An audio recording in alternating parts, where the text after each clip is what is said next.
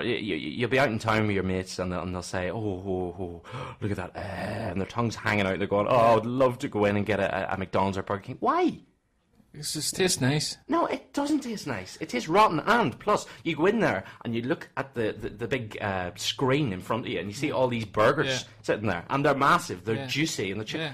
You get it, and it's, it's like something you would hoover up with the carpet. It's, it's, but it's, like uh, that's like that in every restaurant deal. It's every not. restaurant It you go is into. not. Yeah. It is the fast food chain that put up big, appetizing, massive So they do that in Indian restaurants.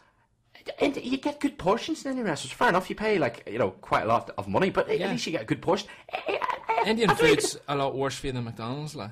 Well, here in McDonald's, you pay what is it now, four quid for a burger and a chip or whatever, and it, oh god, eh, people say it's it's good value for money. Well, it's not. It is. You can get like a burger for seventy nine p. It's not big though. It's tiny. I could eat one of them burgers in one chow. So what's the difference between eating McDonald's and say you're you're famous as the smart price quiche that you would get for seventy nine p out of Asda? Yeah, well, they don't try and market that as something great. It's in a little green and white box, and the pa- packaging's flimsy and all that. It you know, like so- polystyrene. Yeah, but uh, you know what you're buying when you're going for that. You know you're not buying something that's you know re- really you know quality product. If you go into McDonald's, you're buying rubbish, but it's it's made to look like.